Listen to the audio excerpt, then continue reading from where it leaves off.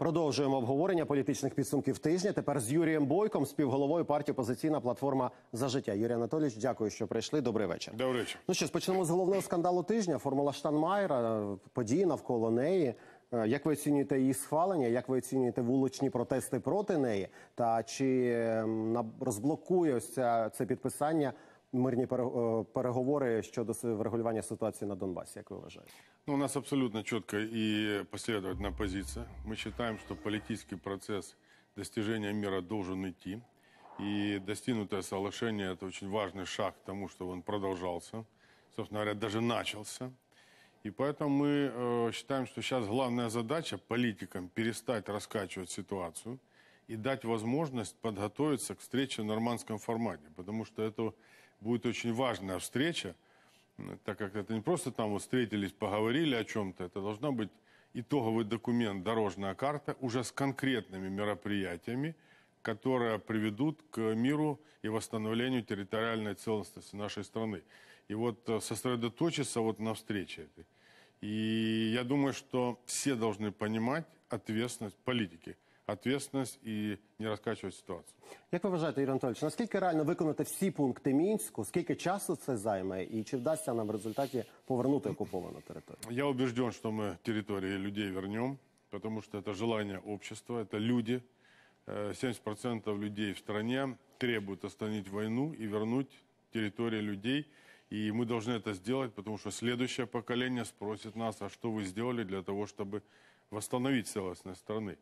И я думаю, что пункт за пунктом надо будет, ну, понятно, что прошло время. Понятно, надо модернизировать Минские соглашения. Они, может быть, базой, но прошло время, их надо пересмотреть.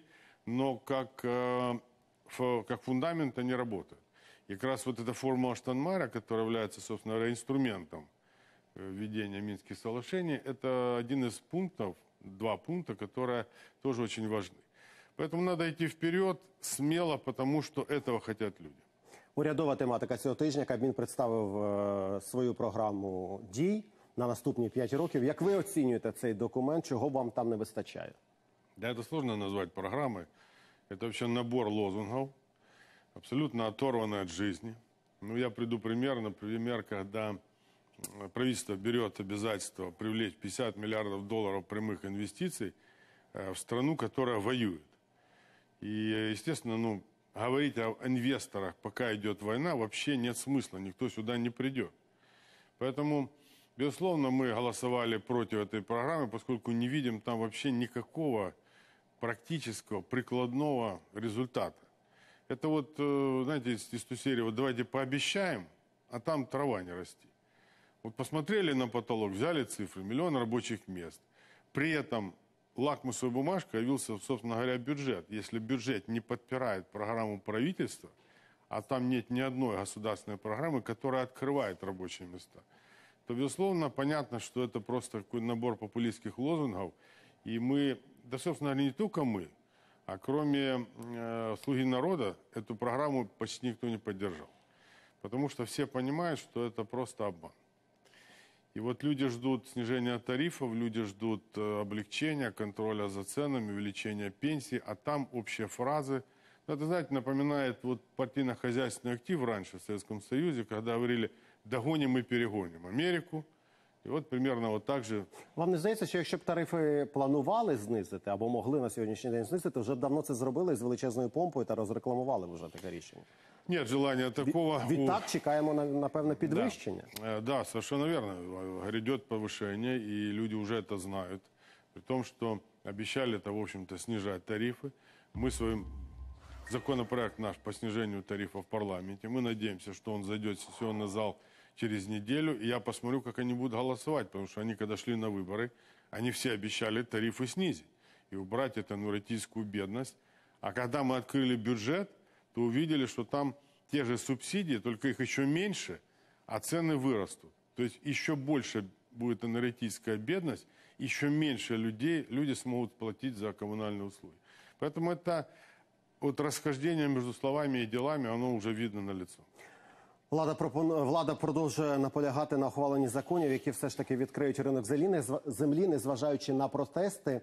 Ну, таки, як ви вважаєте, чим це все може закінчитись? Ну, ситуация очень напряженная, потому что вот вчера пришли э, под Верховную Раду, приехало примерно 10 тысяч э, фермеров. Причем это не, не то, что кто-то их там подкупил, там, мотивировал как-то. Вот я с ними общался, многих знаю, это люди реально приехали напуганные, потому что они понимают, что их ждет. Что если вот эти четыре странички э, закона, так называемого, о рынке земли будут приняты, то дальше механизм может быть такой, что п- открывается компания каким-нибудь транснациональной корпорацией в Украине или Международным финансовым фондом, имея неограниченные финансовые возможности, э, скупает землю, а люди, которые сегодня работают на ней, фермеры, они не смогут с ними тягаться. У них нет таких денег, у них нет таких кредитов. У нас ведь 70% продукции производятся фермерами, у которых от тысячи до 10 тысяч гектаров. И сегодня, по их оценкам, они примерно не смогут выкупить больше половины своей земли. У них просто нет денег. То есть эта ситуация, а, а естественно, если они не, не будут иметь земли, не будет рабочих мест в селе. И люди что? Село будут умирать, люди будут уезжать в города. Кстати, в Бразилии вот эти фавелы, все эти трущобы появились после того, как э, продали землю так называемым латифундистам, и людей просто с нее согнали, и они поехали все в города, в эти трущобы. Так что мы хотим такого будущего? Ну, якщо, якщо ринок землі все ж таки легалізують, фермерів захистити можна якимись законодавчими актами? Ну, вже виходячи з цієї Ну, ситуації, яка може имитация виникнути? идет, потому что сам закон разрабатывается без участия фермеров. Вот консультант по разработке закона Всемирный банк. Скажите, пожалуйста, он что, заинтересован в украинских фермерах? Он, естественно, будет отстаивать интересы международного финансового капитала. И, естественно, они этот закон делают под них. Поэтому фермеров защищать будем мы. И они сами, потому что они уже настроены выходить на улицы и устраивать публичные акции. Вот это был предупредительный митинг с их стороны, причем люди настроены очень жестко. Они понимают, что их ждет, они против этого.